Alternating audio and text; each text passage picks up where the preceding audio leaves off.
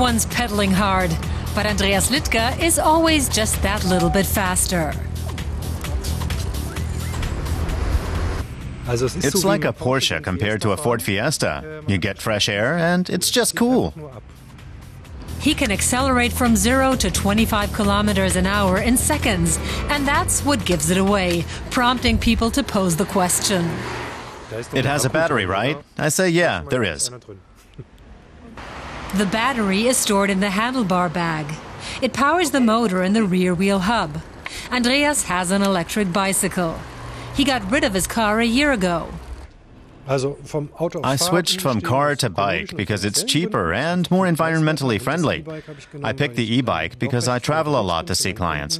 The e bike's great because you don't arrive at meetings all sweaty and smelly. The event technician spent 3,000 euros on his e bike. Another of its special features is that it's collapsible. So no matter where his clients are, Andreas can reach them by bike and train. If necessary, the bike even fits in the trunk of a car. Clients often ask me how I get there so fast. It's because I don't have to look for parking. Anke Uschmann also no longer worries about parking. She switched her family estate car for a family e bike. We've got two kids, and it's just more practical pulling 40 kilos behind you on an e bike than a normal bike. You can cover greater distances too, when normally you'd have to rely on the car. With her e bike, distances of 30 kilometers are no longer a problem. The only catch is the battery. It runs out after around 50 kilometers. I imagine that the technology will improve in the coming years. But if you want to take a longer trip, you need to take a second battery, otherwise, you won't make it.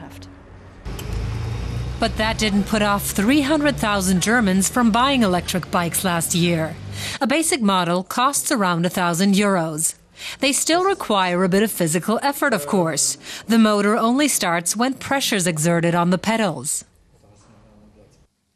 There are various systems. Most of them react to motion and pressure on the pedals. A specific pressure equals a specific amount of power, and that gets transferred straight to the chain or the rear wheel.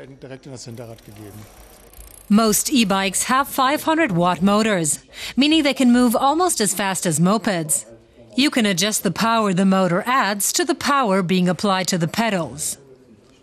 Most electric bike buyers don't actually live in cities. The majority live in hilly regions.